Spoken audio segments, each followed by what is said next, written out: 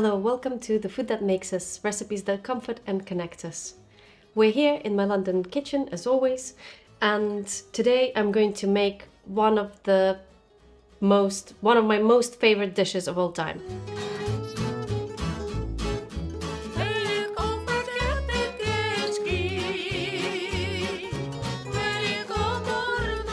Know I say it often on this program because I do pick recipes that I really, really love for you, but this one really is just, it's my childhood, it's Ukraine, it's my mom, it's my grandmother, it's, again, it uses some of my most favorite ingredients ever.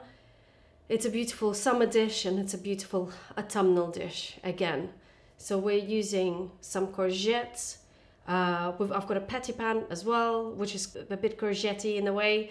And then I've got some really nice Cornish potatoes, um, dill, always dill, and um, a little bit of flour. You can use white flour, but actually I've got a little bit of wholemeal here, which is fine. A bit of garlic, these incredible tomatoes, um, which we got on Saturday from uh, Country Wild Country Organics. Yes, I got it right. I think this time. It's not an advert. I just they just make have they just grow this incredible veg. I mean, look at these tomatoes. They are so heavy. They actually got squashed in a bag. So I took the bag and tipped all of the juice in here. We're going to grate them and make a, an amazing sauce with them. And then here I've got creme fraiche. And in Ukraine, basically, smetana, which we use for these dishes, is like a really thick, amazing creme fraiche. Uh, you can find some French uh, French ones that are really good quality, but this is Neil, Neal's Yard. Again, not an advert. It's, I just think that they make the best dairy in the UK. And uh, this is it. This is how it's supposed to be. It's supposed to be so thick that it sticks to your spoon, or like if you put it in the thing, it just sticks out. So this dish is just beyond. It's just so beautiful. If you're vegan, you can omit the creme fraiche, but if you're not, make sure that you get a really good quality one and uh, use it in this dish. Just incredible. And it's amazing hot and warm, but actually it's really, really good cold. In fact, when we were little, um, my mom would make it quite often in the summer. And my brother and I would wake up and we'd go, and there would be this big pot of sauce. This is what it's called, which means sauce um, in Ukrainian. And we would um, just eat it with some bread, just picking up the pieces of courgette and potato out of the pan with the piece of bread and it's just beyond delicious. Okay, so this is quite a big one, but I don't mind making a really big batch of this and also I've got these amazing tomatoes which I've got four of. So I'm just going to cut it in half. So I've got this really nice, look at that beautiful milky flesh. And I'm, again, I'm just going to put it on the side and let's see actually it's quite big maybe I'm gonna cut it this way again and then turn it around. Yeah that's it. And then I'm going to do similar kind of sizes to the uh, to the uh, courgette. Yeah. And then like this. So skin and everything. So some people say like it's like a more of a it's a pumpkin type thing but to me it's really just a big courgette, almost like um, Natalia, what are they called when courgettes go a bit older? Marrow. It's almost like a yeah, and you can you can use a marrow. So if you have been growing courgettes and they've become a bit marrowish, uh, if it's if the skin is too tough, maybe peel it off. But otherwise, it, you know, it's good to go. It's going to be delicious. For the potato, my mom would peel them, and I think my grandmother did as well. But these are new season Cornish organic potatoes, so I just want to keep the nutrients and whatever. Look, look at the skin; it's so thin. Like there's really no need. It will be such a waste to to do it. To be honest with you, in general, I don't really peel potatoes much. It's Joe's influence definitely. He kind of stopped me from wasting the vitamins. So again, I'm just gonna cut a little bit off so it's nice and stable. We're going to use this bit as well. And then I'm going to cut it into thinner slices because obviously it's going to, we want it to cook quite quickly. So thinner than the courgettes, quite, uh, you know, quite thinly. Something like this is, is okay. Yeah. And I'm going to do the same with the rest of the potatoes. Okay. So I've got some cold pressed sunflower oil and I'm just going to add it in and let it splash and let it heat up really well. And then for the courgettes, I'm gonna start with the courgettes. I'm going to dip them into this flour just like that on each side. Maybe put a little bit of salt. Also put a little bit of salt in just like this. Do the other side. And it's just going to give it flavor, especially that I'm using this really nice flour. And um, it's going to thicken the sauce a little bit. And I don't know, it just does some magic. And as I say, my mom does the potatoes like this as well, but I'm too lazy to do this because I'm lazy. Okay, that, that bit here. And we're gonna do the same for the courgettes and for the patty pans. And the potato we're just gonna throw in and kind of brown without uh, a little bit of salt. Okay. So you can see it, like when it starts to shimmer a little bit, that's when you know that you, you can add your... See, there's a little... dill is everywhere. There's a tiny little piece of dill there. And it's already kind of like becoming a little bit shimmery. So let's try. So I'm just gonna stick one of them in. Yeah, not yet. Just be I'm really impatient. That's one thing that I need to work on. I'm an impatient person with some things. But it's getting there, look. You're gonna start hearing the sound in a second. And this recipe isn't my first cookbook Mamushka because as I say, it's just one of those dishes that are, you know, one of the favorite ones. And now it's weird, now that I think, I've got, so Sasha, my oldest son, is, you know, he eats, I don't know, crazy seafood, in the Chinese restaurant, he'd eat tripe and jellyfish and all of these kind of things. But he hates courgettes and he hates aubergine, which kills me. I was also a little bit picky when I was little, but I definitely like courgette, aubergine, anything like that, I absolutely loved. And I wonder if it's something to do with this dish as well, because the, I don't know, there's just something about this courgette. I'm gonna put a little piece of patty pan as well in something about this dish that's just so delicious. And it's quite like medium, medium high heat. We want them to uh, brown really nicely.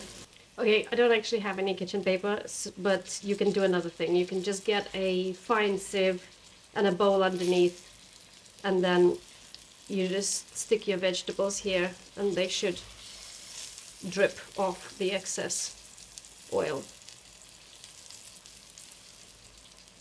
And then if this is looking okay in here, yeah, in your pan, if it's not too burnt, keep going.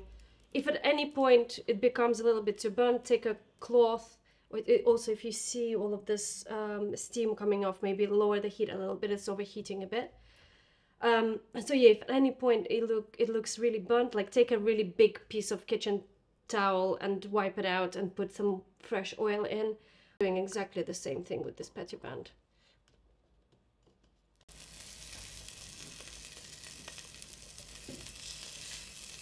Okay, when all of the courgettes and patty pans are done, just put like a nice glug of oil in there.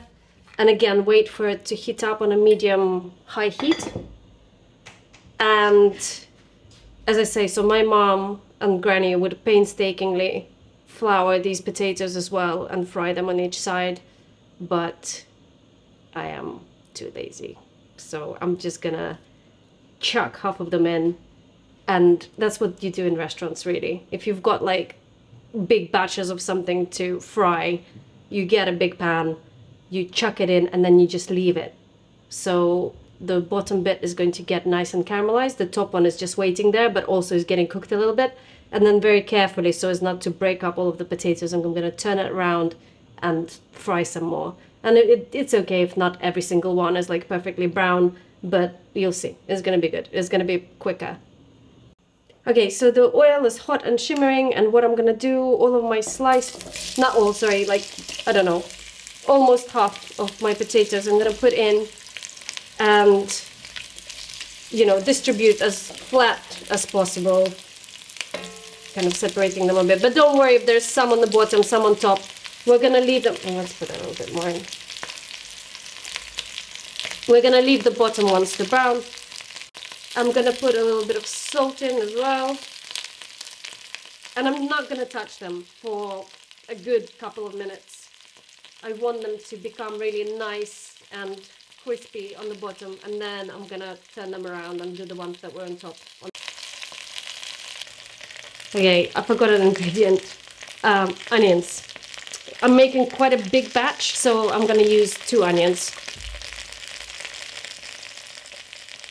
And what we're gonna do is we're just going to slice, slice them. So that's quite easy.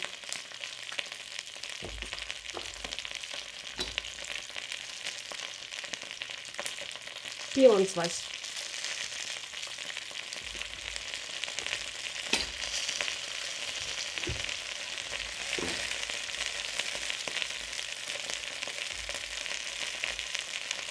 And I don't know, my mom would do normal half circles, I think, but I don't know if it's a, an Ottolenghi thing. They just always cut the onion lengthways. I don't know if it's a Middle Eastern way or whatever, but now I always cut my onions lengthways. So instead of half circles, I'm just gonna go like this.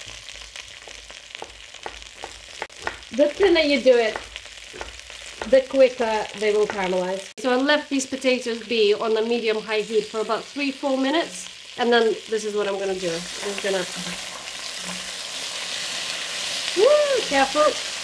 I'm sorry if your lambs got splattered, Try.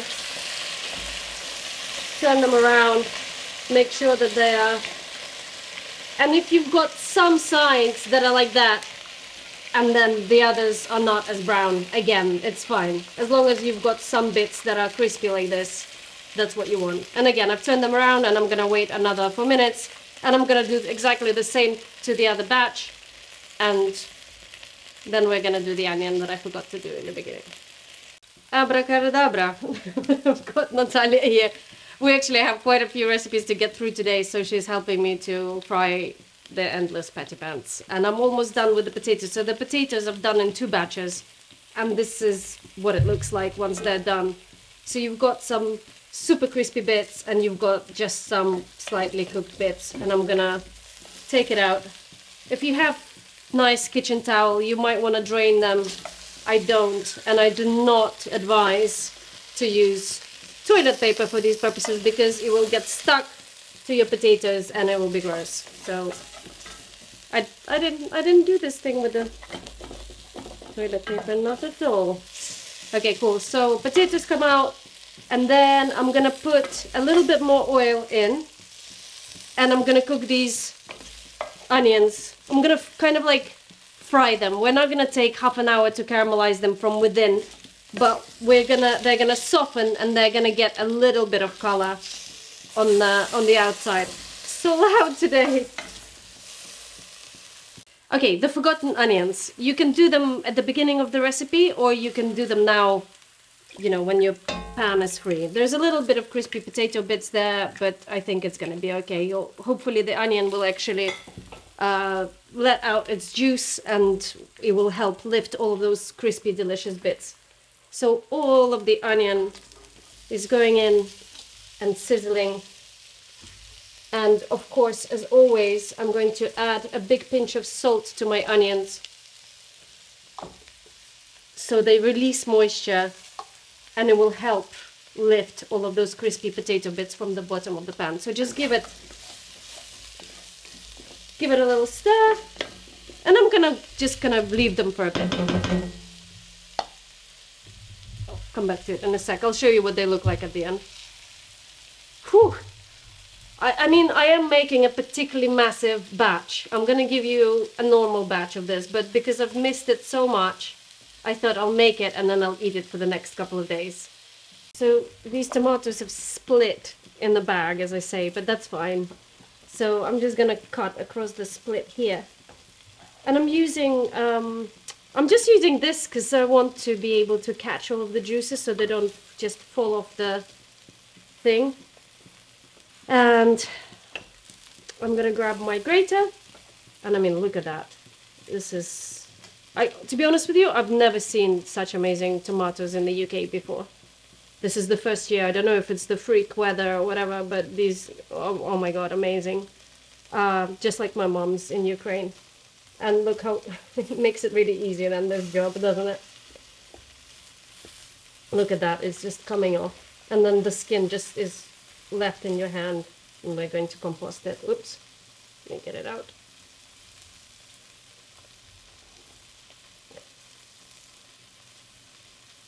Okay, skin and compost. Get the rest of the skin. If there's like little tiny bits of skin in there, again, not a problem. Do the other one.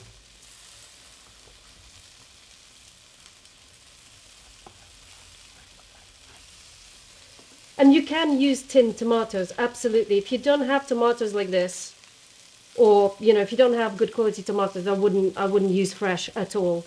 It's only because I found these, I just thought, oh, I'll make it with fresh tomato. But normally, actually, I would use a um, tinned one. So you for this amount, you'd need like two or even three tins of tomato because you want everything to be properly covered. Okay, now I'm just gonna squash this to get as much juice as possible out of here. And put it into the compost bin. I'm just gonna wash my hand now. It's kind of overflowing a bit, so I'm just gonna carefully lift it and then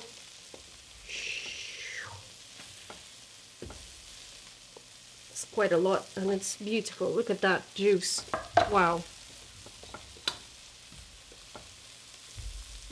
I'm gonna do the, the same to the rest of the tomatoes, but just look at the color. If you haven't noticed, I'm a massive tomato fan. Oh, my onions, wait, hold up. No, they're good, they're good, they're good, they're good. So the onions are frying, all of the potatoey bits we've picked up, and actually they're gonna be ready quite soon. I'm just gonna lower the heat.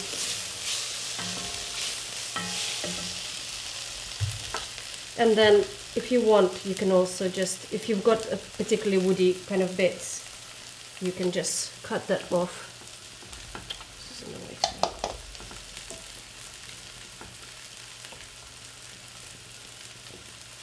That's it. And then we're doing exactly the same thing as we did before. And I don't know if I'm going to use four actually. Each one has so much juice.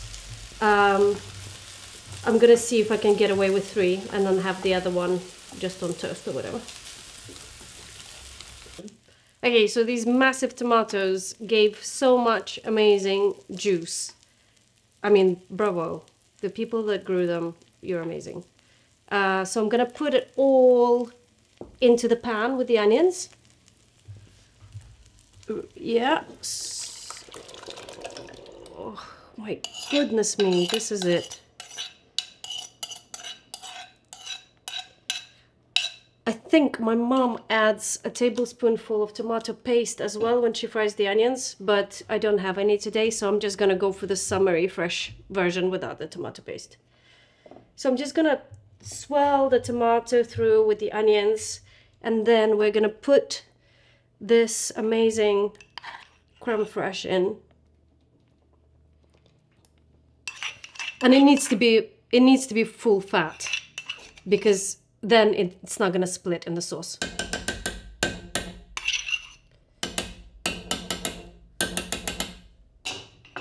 all right and then I'm gonna take a whisk and just kind of whisk it in. And this is something that we do a lot in Ukraine, add smetana or, you know, sour, thick sour cream, creme fraiche into tomato sauces. And I think it has a really amazing special flavor. At this point, if your tomatoes are not super sweet, um, you can add a pinch of sugar as well if you like. I think these are great as they are. They don't need any help from sugar. What I am going to do is I'm going to season it with salt.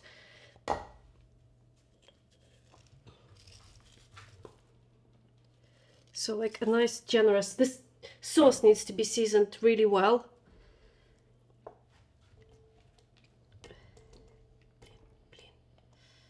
I'm gonna use, oh my god, I'm so splattery today. So I'm gonna use the spoon with the sauce. Give it a nice, and then I'm gonna taste it. Taste for salt. And actually, if you wanted to uh, give it a nice grinding of pepper, why not? Mm. Almost there, just a tiny bit more. Where is the whole pepper? Can you see it? Oh, it's on the big table. One sec. Okay, and I am, you know, because this kind of sauce with creme fraiche and tomato does like a bit of pepper. So I'm going to put a nice amount of pepper in, give it a swirl, give it another little taste. I'm going to use a different spoon. Look at the color. Look at that beautiful pink color. Mm. Oh, and the flavor is just amazing. So, in the pan, we have grated tomato, fried onions, and creme fraiche. And now I'm just gonna basically put a layer of courgettes, then some potato.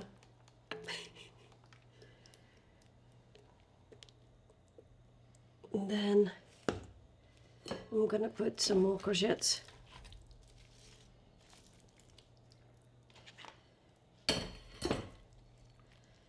Okay. Look at those colors and everything. It's just delicious. Put the rest of the potato. There you are. And the rest of these. There's quite a lot of delicious vegetables. And then I've got loads of dill here on the side. And actually, so you can cook it on the stove, but I did say I'm gonna cook it in the oven, so I'm just gonna put the oven on quickly. I don't know, like 170, if, if your oven is really ferocious, something like that, 160, 170, kind of slow cook it. And then I'm gonna keep these umbrellas for my cucumbers, which um, I'm gonna show you in a video. And then pick out the ones with kind of thicker stalks uh, to, to be, to go in now. And then the rest of it can go in with the garlic so I don't forget about it, as you know, we know that I, I tend to forget about the garlic at the end. I'm just gonna put it here. Uh, so I'm gonna take these thicker stalks of dill, and this is like a whole bunch of dill, because it's amazing, and it's gonna be really good in this, in this sauce. That's it. Uh, yeah, that's it. And then I'm just gonna bunch it up like that, and I'm gonna cut it quite finely. Oh, another little umbrella, and another little umbrella. Okay, so bunch it up cut, cut it quite fine. Oops, one's big, big bit here. Obviously, if your dill stalks are really woody, but I find that they're not. Normally, they're you know very much edible. Don't waste them. Something like tarragon, obviously, or thyme, you would wanna, you know, put in a compost bin. But with dill, that's fine. Actually, I'm just gonna put a little bit more, and then the rest of it is gonna go in fresh at the end with the garlic. Okay.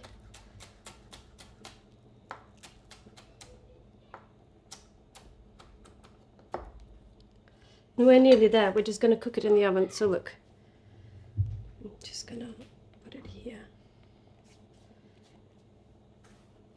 This dish is just a dream. Look at it. So beautiful. So I'm just going to literally just like put it in like that a little bit. just so it's all in the sauce.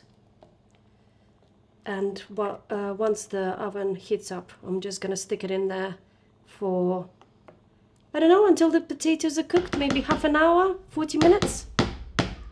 All you'll need to do is to take one of the potatoes out, give it a try and see if it's nice and soft. And then you're done. And as I say, I almost prefer this dish cold or room temperature rather Ah, I can't, I can't, can't wait for you to try it. Have you ever tried it, Kai? No, not this one. You're gonna love it. Okay, so I'm gonna cover it with the lid, and when the oven is hot, I'm gonna put it in. Dill hands. And I'm gonna put it in the oven.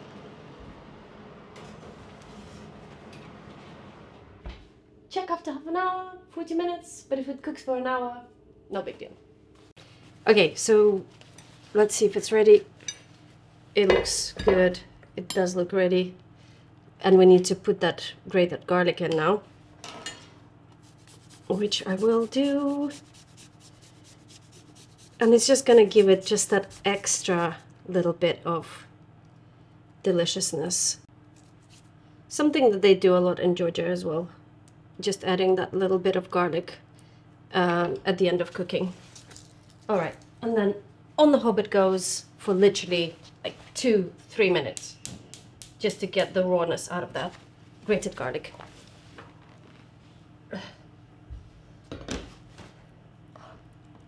I mean, this is piece de resistance. It's just so good. So, oh my god, it smells just amazing. Um, so I've got my plate. I've got a nice big piece of sourdough and I'm just gonna go in here. Okay just give it another little stir through and just serve it a little bit of potato.